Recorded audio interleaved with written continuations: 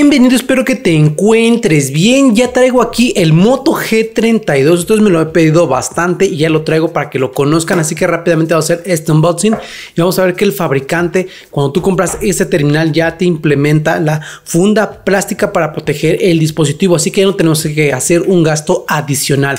Y bueno, la unidad que yo tengo aquí en mano es en color negro. Es un color como medio mate, pero también un poco brillante. Disponible en plata como también en rojo. Y vamos a ver qué más viene el interior de la caja cuando compras este terminal. Pues claramente el fabricante nos añade una guía rápida de uso del dispositivo y también contamos con un cable que es USB con entrada tipo C. Pero por supuesto Motorola sí implementa cargador de carga rápida y es de 33 watts de potencia. Ya tengo el dispositivo en mano así que vamos a encenderlo a la 1, a las 2 y a las 3. Presionamos el botón de power Así que bueno, en lo que enciende vamos a hablar sobre el diseño. El equipo está fabricado completamente en policarbonato en la parte trasera con un acabado mate pero también brillante que la verdad luce muy bien. Algo que se ve interesante es la curvatura en la palma de la mano del dispositivo lo cual se agarra muy bien. Es un equipo delgadito, no pesa prácticamente nada y vamos a ver por supuesto el módulo de cámaras con este acabado en este aluminio, pero la verdad luce muy bien, ¿eh? la verdad es un equipo atractivo visualmente. Creo que se podría lucir un poquito más en el rojo como también en el plata, ya que el negro es algo más convencional, pero ¿qué pasa con la botonera física? En el lateral derecho tenemos el botón de power que también a su vez es el lector de digital, volumen menos y volumen más. Lateral izquierdo contaremos con la ranura para poder añadir la tarjeta SIM hasta un terabyte como también la tarjeta micro SD. Parte superior tenemos un micrófono de cancelación de ruido. Parte inferior tenemos altavoces, puerto de carga tipo C, micrófono de cancelación de ruido y entrada para jack 3.5 para los audífonos. Y así es como se visualiza este Moto G32 con respecto a su diseño. Nos encontramos en la aplicación de YouTube y vamos a hablar del apartado multimedia que enfoca la pantalla como también el sonido. Este Moto G32 cuenta con una pantalla LCD de 6.5 pulgadas en resolución Full HD Plus y tasa de refresco de 90 Cabe mencionar que este dispositivo pues, nos brinda una buena calidad de imagen para el equipo para el rango de precio de 5.699 pesos mexicanos que a cambio de dólares será como unos 200 30 eh, dólares, un poquito menos dependiendo del cambio de la moneda actual, pero realmente es una propuesta buena por parte de Motorola. Algo que me gusta es que tiene pantalla que la verdad tiene buena representación de color. Algo sí con que tengo que comentarte es que el brillo en el dispositivo pues sí tiene que tener un poquito alto el brillo para que se mire completamente el panel en lugares donde sí existe mucha contraluz, como por ejemplo en este caso ahorita que estamos grabando tenemos luces aquí arriba, tenemos los laterales y para poder ser visible la pantalla sí necesitas tener prácticamente un brillo más del 80%. Creo que es un tema que a Motorola le falta mejorar en toda la generación de equipos de Motorola que han salido y los que ya están por venir. Creo que deben trabajar en ese tema. Y es algo que siempre les he comentado. Pero realmente la representación de color es bastante buena. Tiene buena calidad, tiene buena nitidez, buen contraste y realmente es un equipo bien balanceado con respecto al panel para el rango de precio.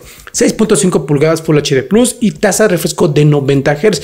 Pero algo que compone aquí este, digamos, este arreglo es, por supuesto, tener un sonido con altavoces estéreo, lo cual el sonido va a ser mucho más enriquecedor y tenemos un sonido mucho más envolvente.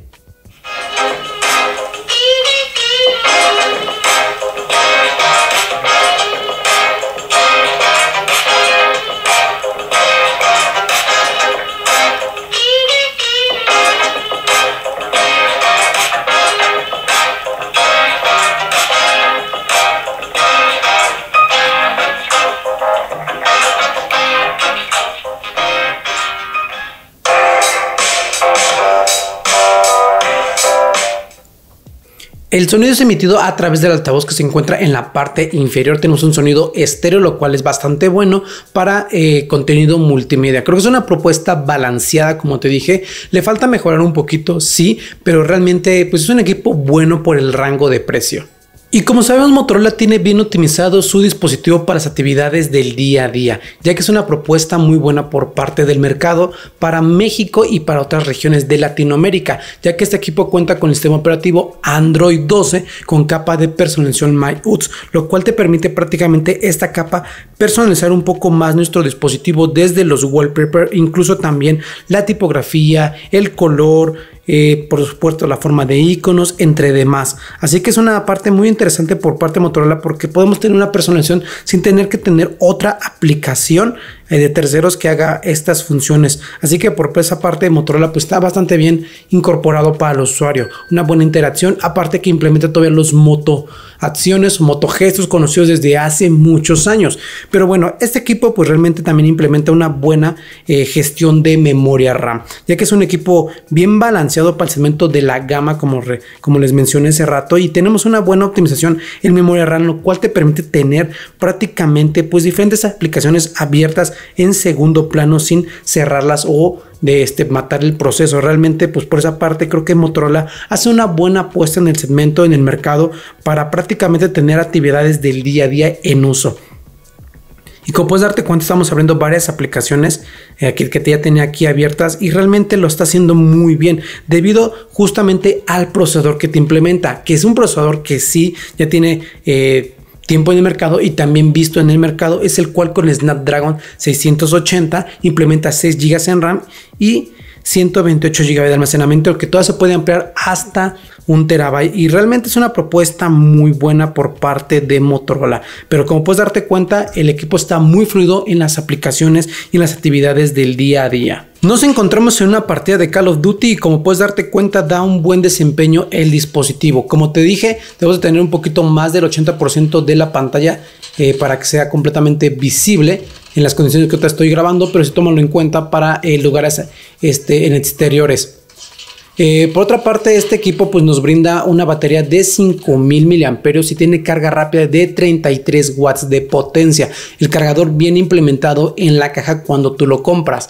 Y como sabemos, pues Motorola optimiza muy bien el desempeño en sus dispositivos móviles. Tenemos las aplicaciones abiertas en segundo plano todavía y aquí tengo el dispositivo como tal jugando y la verdad no hay lag ni para fotogramas, al contrario va muy bien. El dispositivo es lo que menciono, el procesador ya tiene tiempo en el mercado pero está bien optimizado para las actividades del día, de incluso para gaming, para realizar tareas y demás. Eh, Android 12 la, verdad le ha caído muy bien con su capa de personalización a Motorola con MyUts. Y en este equipo pues también contamos con NFC, conectividad 4G, Bluetooth 5.1, que por el rango de precio de 5000 699 pesos mexicanos. Hemos visto propuestas con 5G, tanto de Motorola como también en otros fabricantes. Aquí se queda solamente en 4G. Me hubiera, gustado ver 5G en este dispositivo. Y también contamos con lector de digital en el lateral, como también desbloqueo facial. El sonido, la verdad, lo hace muy bien. Tenemos un sonido bien ejecutado para el dispositivo y un buen desempeño en general. Eh, algo que sí te puede agradar en este dispositivo es que es repelente al agua gracias a la certificación IPX2. Como tal, no se puede sumergir al agua el dispositivo, no se puede mojar, pero sí es repelente a salpicadoras de agua.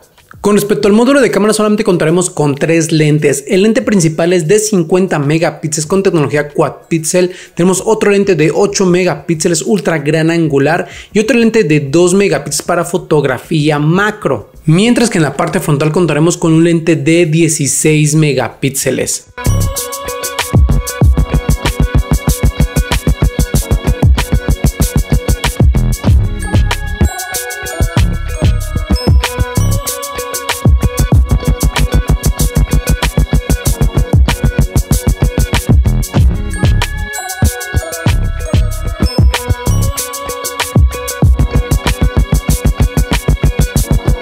Déjenos saber en la caja de comentarios qué te parecieron las fotografías que puedes tomar con este dispositivo en alta resolución. Así que sin nada más que decir amigos, espero que te haya gustado este video. Recuerda apoyarnos con tu me gusta. El precio de este Moto G32 tiene un costo de 5.699 pesos mexicanos, que acá de ser como unos 220, 230 dólares aproximadamente. Ahora es una propuesta buena, interesante, que hay cositas a mejorar. El desempeño es bueno, la batería también es buena. Solamente el tema de la pantalla me hubiera gustado que tuviera una mejor incorporación como una una pantalla OLED una pantalla AMOLED que ya lo hemos visto en equipos de Motorola por este rango de precio. Sin nada que decir, yo me despido, nos vemos y hasta la próxima.